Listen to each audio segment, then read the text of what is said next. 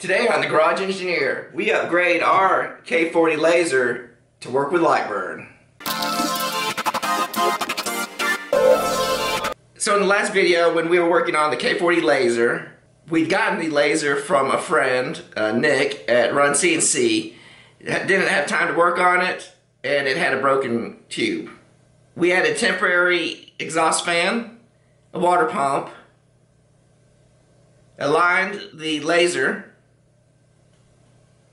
and we found the MeerK40t software to run the motherboard.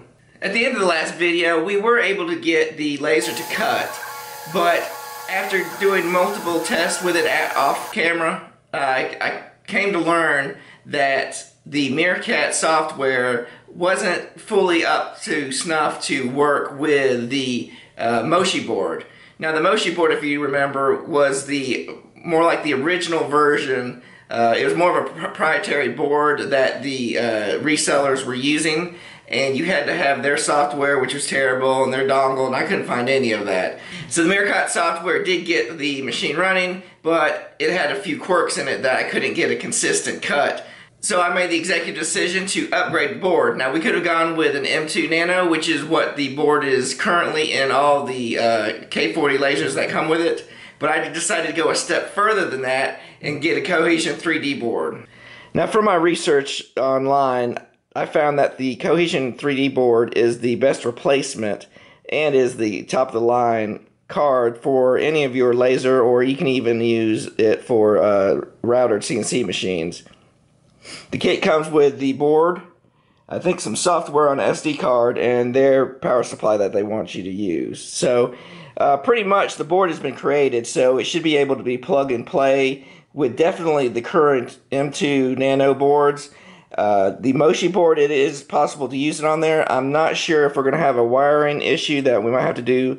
Um, it might not hook be plug and play like the M2 Nano K40 lasers, but uh, it does work. So we there's definitely instructions on how to get that going. So we're going to try to do that. Now by doing that, the reason, the whole reason I went with this board is because we will then be able to use Lightburn to control the entire laser, which I love that software. I use it on my diode laser, and uh, it will be a, definitely an upgrade to what we got here. So we this got packed up from the last time we used it. I had a few uh, other projects I had to do, but now let's get it unpacked and get it set up.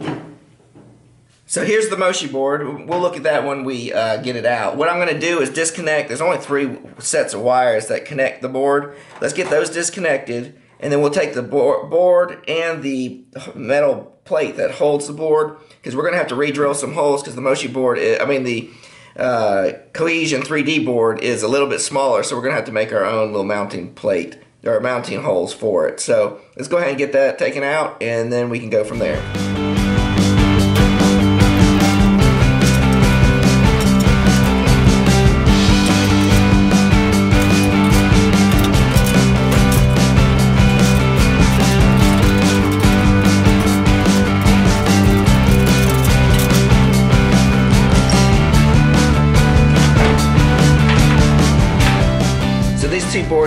Almost plug and play. There is one thing you've got to modify. You've got your ribbon cable that goes here, uh, and it got, plugs in directly here. You've got your Y-axis, which is a wire that plugs in up here that was taken off of uh, this port right here. And then the only difference is, is this got a six pin uh, power connector and we've only got four pins here. We're only using, this uses only three uh, of the pins. You've got your laser power 5 volts, 24 volts and ground all we need is the uh, ground and the laser 5 volts um, or to tell it to go on and off. So let's get the cable pulled out of the machine and we're go and uh, modify the six pin connector that used to be here so that it will be able to uh, fit. We're going to use the uh, the wire blocks here to plug the wires in. So we'll do that right now. So this is the uh, power cable that we need to get off to and modify. It's got a little clip in the back there. You just kind of separate it so that you can pull the the block away. I don't know if you can see how well you can see it, but there you go. So it just pulls off. You can't see anything, can you? So it just kind of pulls up and off there. And it has a little clip retaining, uh, the clip's on the other side, but this is the retaining part of the, so it holds it in. So I made a little diagram. Here's our six pin connector from our Moshi board. You've got the uh, laser 5 volts of the gray, and then you've got your 24 volt power, which we won't need, and then you've got your ground right here.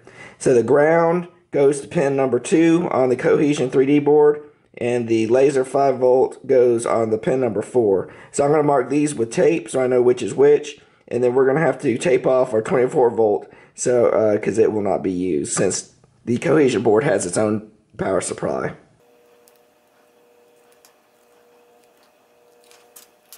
We'll mark this the 5 volts and this the ground. Now we'll just take something sharp and there's little clips. You just push the clip down, pull the wire out, and there you go.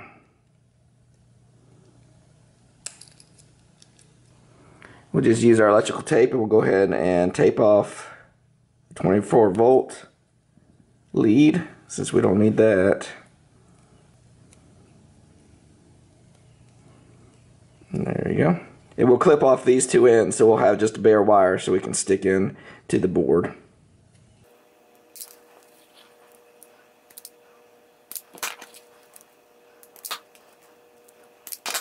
Okay, so we've got the board.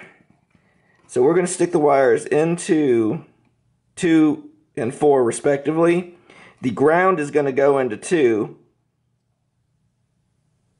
So let's stick the wire in there.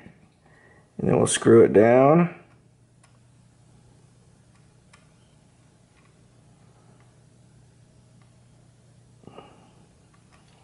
And then I was calling this 5 volts. It, it, I think it is 5 volts, but it's the pulse width modulation of the laser firing it on and off. So this is how Lightburn, I think, controls how much power when you're doing grayscale. Um, and that's the lead, that's the control lead for that wire. So we're going to put that into 4.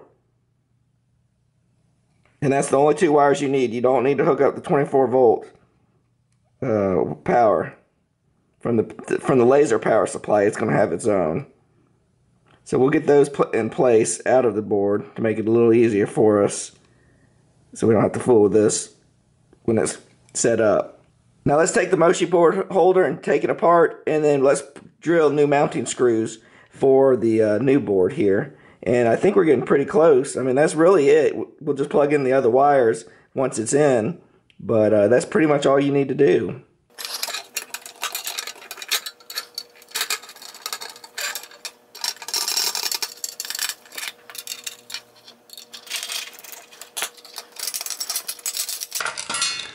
Make sure you save these standoffs. We'll need it because you don't want your board to be grounding out on the bottom onto the piece of metal. So keep these. This is the Moshi board. This is the MS-1010.5 version 4.87. That is uh, the, I think older, there's two different types of these boards. I think this is the older, this might be, this is the updated version, I think. Um, but still, this is way old. This is made back in, I think, 2004 15. So we're talking, so we're talking it's uh, seven years old. Uh, technology has really improved since then. The M2 Nano boards are a lot better than this one, but uh, we got what we got. We'll get it fixed.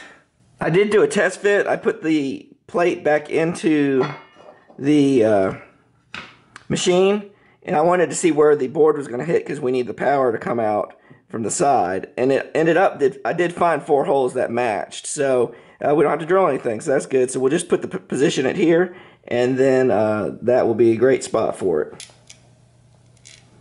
We'll do that.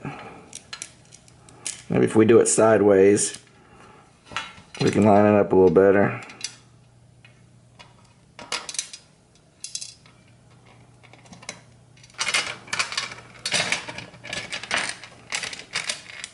Looks like these two bottom holes are a little too small. So I'm going to just get a drill and we're going to uh, make it a little wider.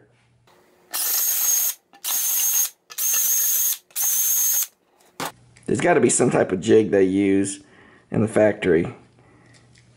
There's got to be some better way to do it than everything keeps falling off. Or maybe this is the way they do it. I don't know. Alright. So we got everything spaced. That looks pretty good. Get the nuts on. And I'll bring it back when we get uh, everything tightened up. One of the screws was stripped out, so we're going to use this one. I hope it's not wider. I got a different one. There we go.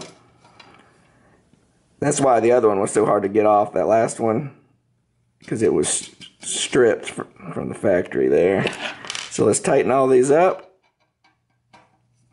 And they'll be good to go. We'll put the bolts back into the uh, bracket here to hold it to the machine. And we'll do the wiring.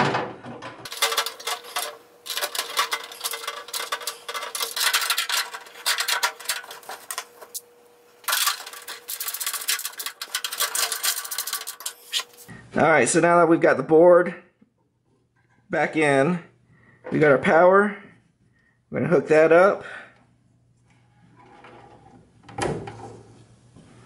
Then we've got to take our y-axis right here, and it's got two little locking mechanisms there, so you can only do it one direction. And you put it into the y part of the board.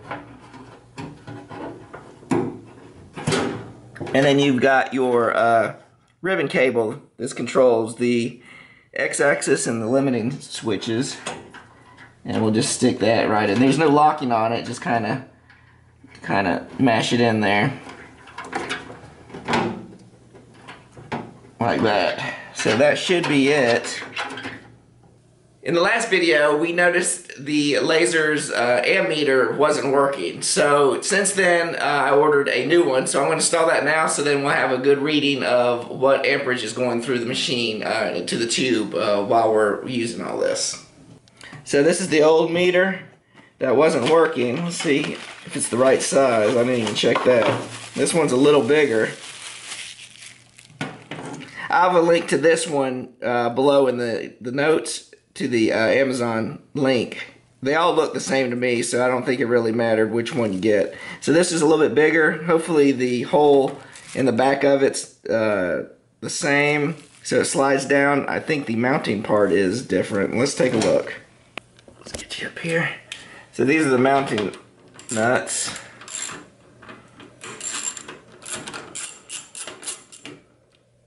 One. I think the hole will be just fine. It's just the face of it was bigger. We'll get this off.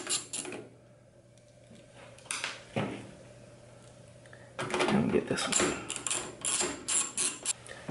We'll go ahead and take the nuts off of this one right here so we don't have to fool with it while it's in the machine. And there's some washers here. But it is the right amperage, so, uh, or millivolt, milliamps. It's just a different size meter. Let's take a look here.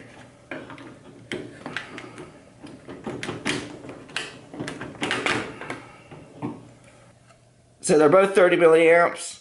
Uh, it's just this face, the newer one, is a little bit bigger.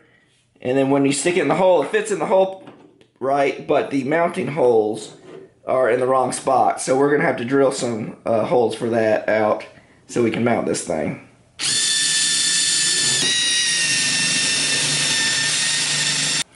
Okay, let's see if it fits here. So the problem I'm having is that this diameter fits, but then it hits a bump right here on the end and it's hitting the end of the metal there. So I'm going to have to notch out a corner right there just so that it slides down. But otherwise, everything else lines up just right. Alright, we made our notches cut out. And Fits like a glove. Alright, let's get this screwed in. And we can get the machine going here.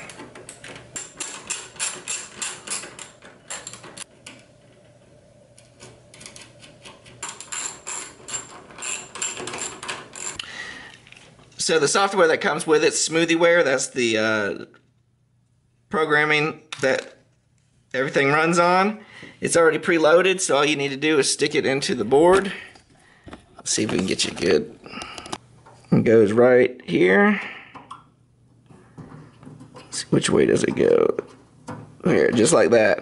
On the side I went ahead, plugged in our, uh, this is basically the printer cable USB cord that goes, that does the communication, and then this is the power supply supplied by Cohesion 3D, uh, the 24 volt. They both plug into the side of the board. So now we're just going to hook up to the computer through USB, and we're going to uh, see if Lightburn can recognize it. So I've got everything plugged up. I'm not going to uh, fire the laser. We've got that turned off.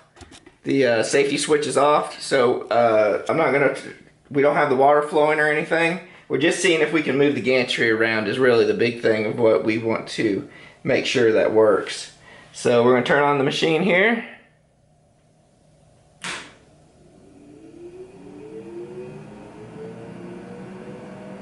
Alright. I don't know if the USB, the board has to be turned on. Oh, it's powering up. There are the lights down there. There should be the four green ones. The two on the outside should be solid. The two on the middle should be blinking.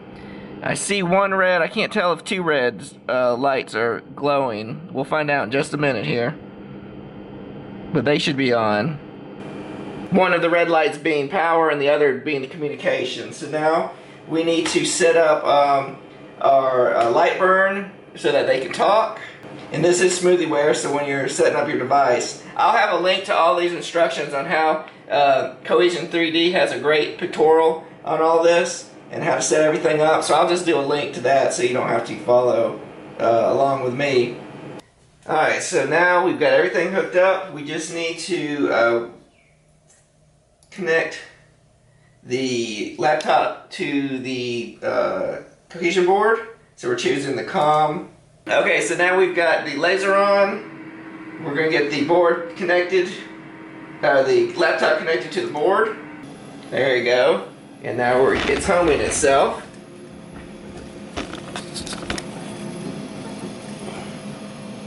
So let's see if we can move it manually, or not manually, but with the computer, with the uh, laptop. There you go. So it's moving an inch. We've got control. I'm going to do a home button. And it homes up top. Perfect. That's awesome. So we got it working now. So let's hook up the laser and test see if we can do a test fire. And then we will uh, see if we can do some test cutouts.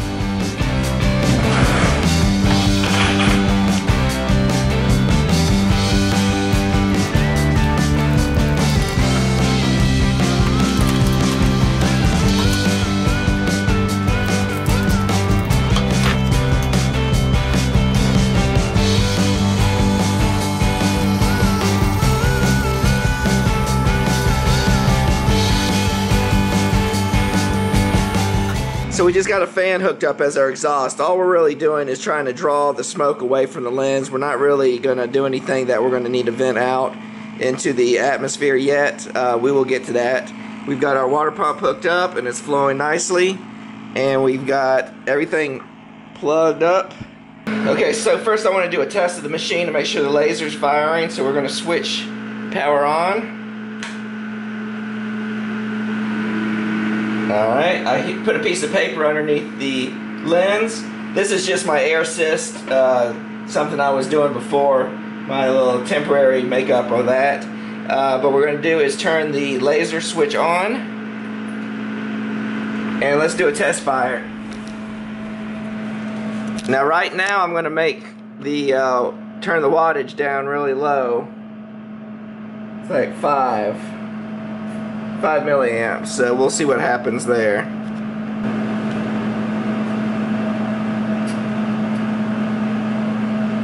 We are getting the amp meter working now. So that just show 10. So that's perfect. So now we can actually see what our amperage is, and that's kind of, well, we were a little off there on what we were measuring. But that's because we were doing in line with the multimeter last time. So we are getting a mark here. Let's see. Do it again here.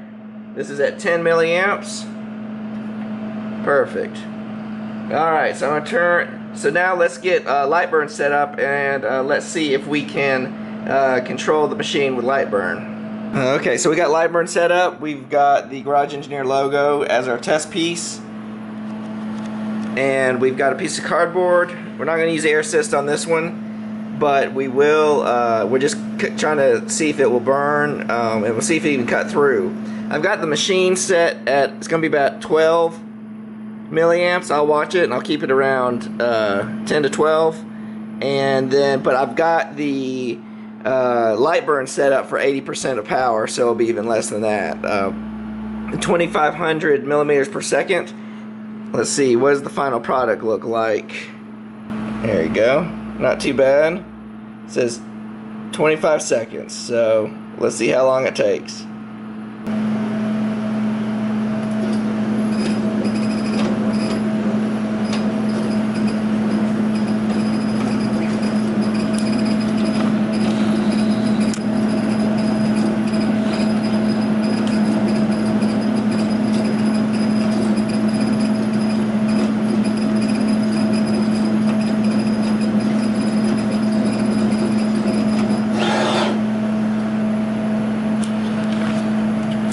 So I've got some setting issues. Uh, one, I thought I set it to home. This is set to top, rear, uh, right, rear as home. It came here. Uh, it came down, uh, or I'm sorry, left rear is what this machine likes to do naturally, but I don't know why it came to uh, bottom. So I'm to have to check that. And because of whatever setting is it's inverted or upside down. Um, so I got to figure out why that's cutting that way. So it's probably just some software uh, issues that I've got to switch but everything's looking alright it only went up to about 11 12 milliamps so that's basically kind of where I want to be. Um, don't want to go any higher than that. Uh, you can push it to 15 but being this old of a tube uh, we don't want to go that far so uh, let me play with it a little bit to see if I can get everything situated and I'll bring it back. Okay, we're to try this again. So I think I had in the software, in the device setup, I, I needed to put the origin where Lightburn sees the origin, which is the bottom left. Even though the machine homes to the left top um, or back, uh, I should have put the origin being front left, whatever you want to call zero zero here. So let's give this a test and see if that fixes the problem.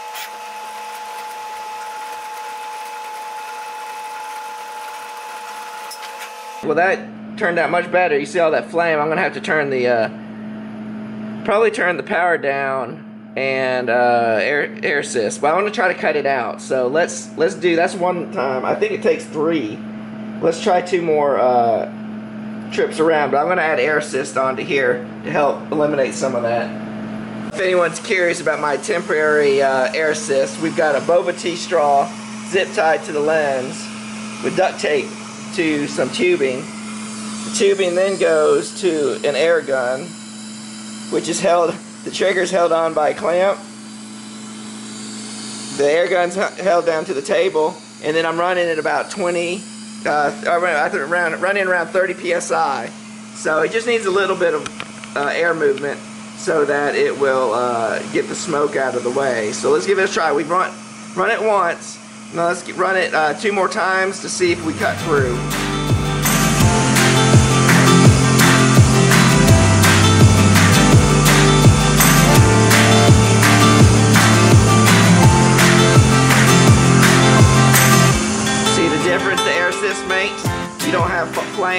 Um, like you did before. I haven't changed any other settings, power or speed or anything. But that's the difference of why you want air assist. Now this is probably a little too much for um, cardboard, uh, being at 80%, but we're just testing it right. I'll do a true gradient test later, but look, it's actually cutting out already on the second pass. At least that's the top layer that's cut out. We'll check it out and see if it cut all the way through. Oh, that was, was that two passes?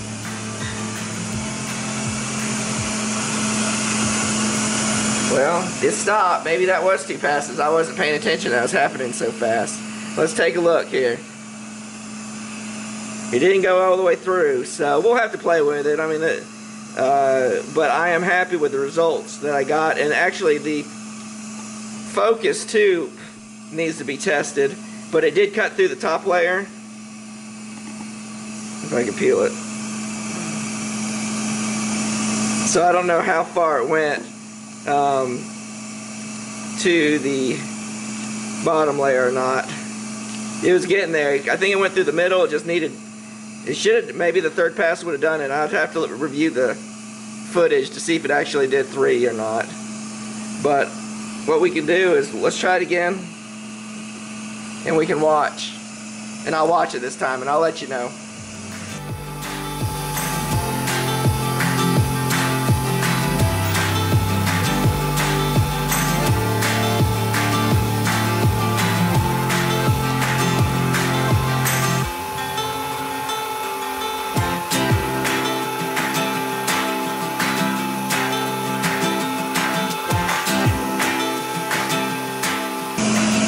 Alright, so the reason why I didn't realize it did the two layers because it was doing each letter twice at the same time, not going through all of it and then repeating itself.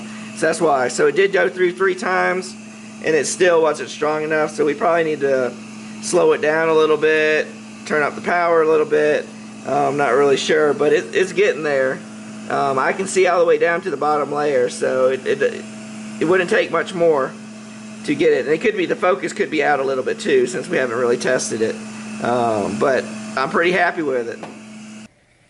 So for all the hard work that we did, taking a broken K40 laser and even an old one too, that was 2015 version of the K40. So this is before the, even the M2 Nano board. So this, um, we didn't get the Moshi board working perfectly. Uh, but I do appreciate MeerK40t helping out with that software. It, that MeerK40t software does work well with the M2 Nano. It just had issues with the, the Moshi board version of it. I am happy that we are able to uh, easily use the Cohesion 3D board. Uh, I give it thumbs up. I think it's really easy, plug and play. We did have to do a little bit of that wiring, just be careful. They got great instructions on the website. And uh, I'm glad, I'm happy to be able to use Lightburn now with the K40 because uh, I love Lightburn. I, that's, I think that's the best laser software out there right now. So um, if you want to check, I'll have all these links down in the, in the notes section below. You can see all the links to the websites, different things um, all the parts that we've used. And uh, I appreciate you sticking around and watching both these videos, and I hope this inspires you to, to fix up an old laser. Remember the ABCs of making. Always be creating. Till next time.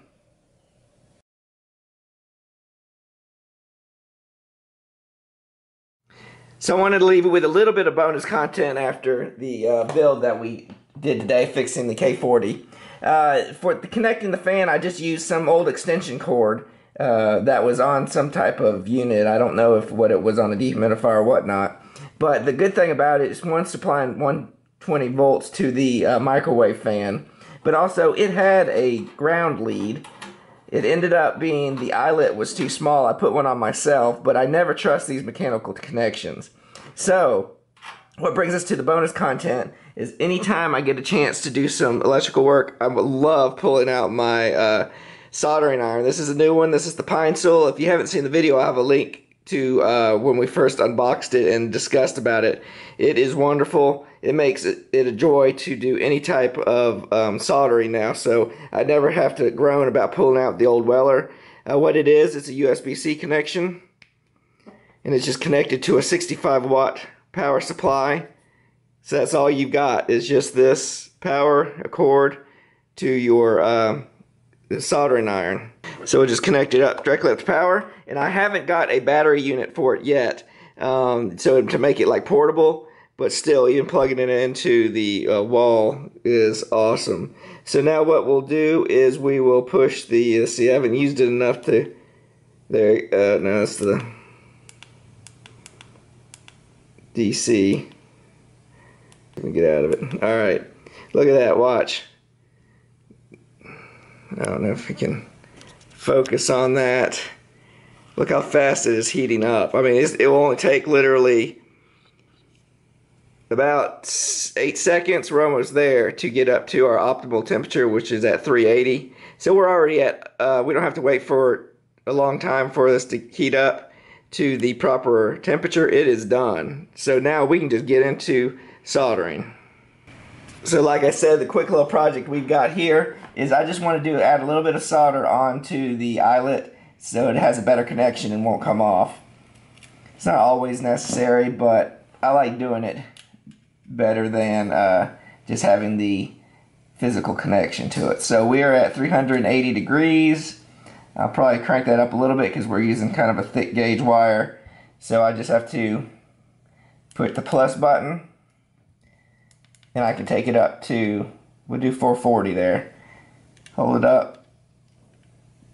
Oh yeah, it's smoking.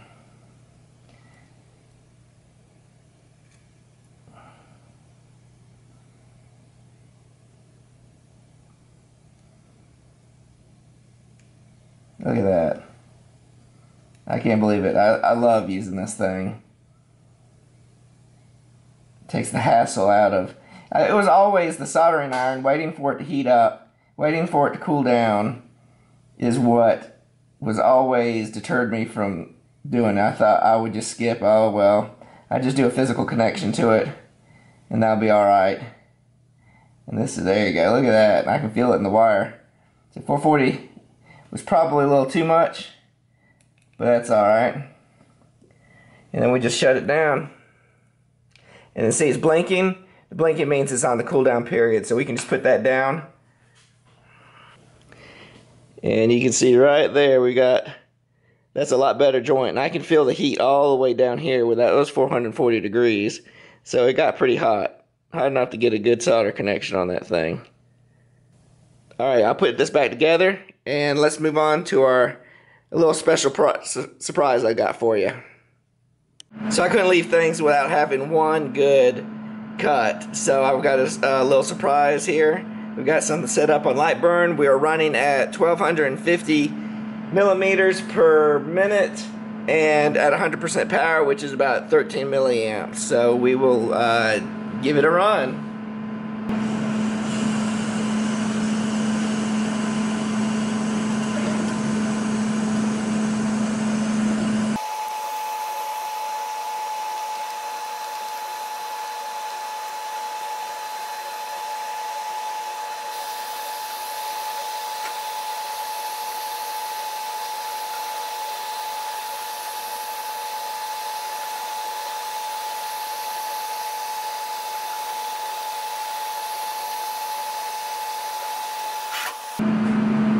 So, in honor of the new Batman movie 2022 that just came out, which surprisingly is very good, I didn't think they could have uh, made it uh, any better compared to all the other Batmans out there, but it is very good. This is the new Batman logo, and there you go. It cut through. You had a little bit on one side, it didn't cut through, but this is four passes. That's the key. There you go. See, it cut all the way through.